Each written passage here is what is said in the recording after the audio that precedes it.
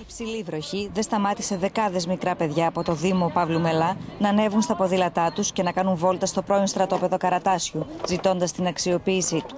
Ζούμε σε μια εποχή όπου η οικονομία αντεπιτίθεται, οι πόλεις απειλούνται και εμείς μαζί με τους ανθρώπους πρέπει να σώσουμε αυτόν τον χώρο για την πόλη.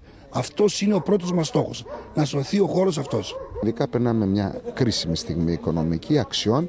Ας αποδείξουμε ότι η ποιότητα ζωής, έστω και σε αυτή την δύσκολη οικονομική στιγμή, είναι αξία για μας και πρέπει να την περάσουμε. Η μεγάλη συμμετοχή των μικρών παιδιών δίνει ελπίδα για το μέλλον. Εμένα μου αρέσει αυτός ο χώρος, όπως είπε και ο κύριος είναι λίγο ακατάστατος, να το πούμε έτσι, αλλά θα γίνει πιο όμορφος αν προσπαθήσουμε όλοι μαζί να το φτιάξουμε, να βάλουμε περισσότερα φυτά. Η ποδηλατοδρομία εντάσσεται σε μια σειρά δράσεων που διοργανώνει ο Πολιτιστικός Σύλλογος Καρατάσιου για τη διεκδίκηση του χώρου. Δυστυχώς ε, βρισκόμαστε τώρα εν μέσω οικονομικής και ηθικής κρίσης.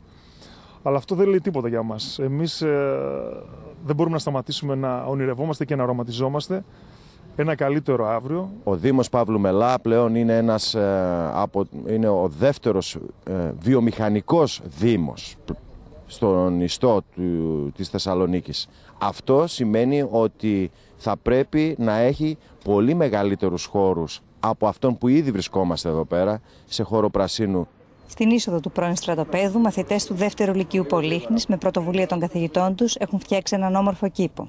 Ε, Εμείς ξεκινήσαμε με την ε, βοήθεια του Δήμου, του ΕΘΙΑΓΕ, του Κέντρου Περιβαλλοντικής Εκπαίδευσης Ελευθερίου Κορδελιού, να δημιουργήσουμε ένα κήπο, παίρνοντας ένα κομμάτι από το χώρο που έχει πάρει ο Δήμος και να τον κάνουμε ένα κήπο όπου θα είχαμε σκεφτεί εμείς που θα φέρνουμε σχολεία δημοτικά, γυμνάσια και θα τους ενημερώνουμε για διάφορες δράσεις της περιβαλλοντικής ομάδας και για περιβαλλοντικά ζητήματα. Με τη σημερινή ποδηλατοδρομία, κάτοικοι του Δούμη Παύλου Μελά, μικρά παιδιά στην πλειοψηφία τους, στέλνουν μήνυμα για μετατροπή του πρώην στρατοπέδου σε χώρο πρασίνου, αναψυχής και αθλητισμού.